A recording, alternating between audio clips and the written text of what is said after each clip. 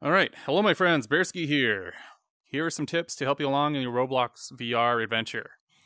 Um, you might have noticed that when you first boot up into an experience that accepts you into VR, your character is in third person uh, perspective. In order to uh, actually jump right be- behind them, you have to stop moving. Very annoying, very frustrating. But if you went through the VR tutorial that Roblox offers, you'll learn that if you press the right thumbstick, it'll take you into first persons. Like, uh, why isn't this the default? Not sure, but that's how you do, do it to get into first first person's perspective. Um, it controls just like any other VR, looking around, 360 degrees, not a problem. Moving with your left, strafing forward and back, and turning left and right.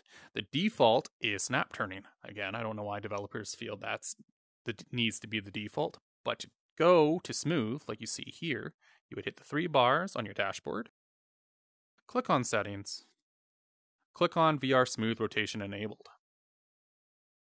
And here you'll also notice that we have quality levels. Um, quality level, if you went lower, it, um, this is just like on mobile or PC. You can minimize it in case you're experiencing a lot of lag, a lot of issues, or you can increase it if your system can handle it. Uh, we also have volume in case there's a lot of in-game music and you want to be doing and you want to be doing um, voiceover work or VR chat or Discord chat. Discord chat. Uh, what else? We also have the safety bubble. What that does. Uh, let's go ahead and exit out of there, move on forward, come to the safety bubble. You can see that as we get closer, he fades out.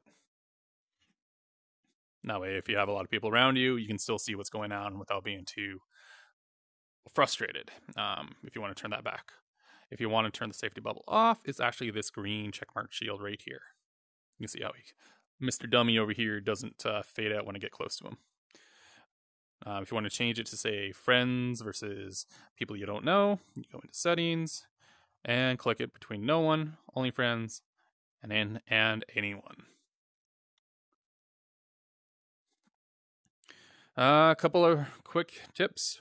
We have the B button on the right top. That's how you can exit out of a menu that you're currently in.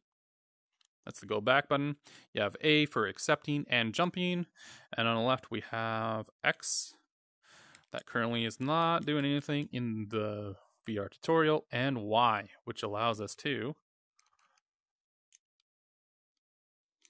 Well, Y is supposed to get us out of the experience, but it's not working.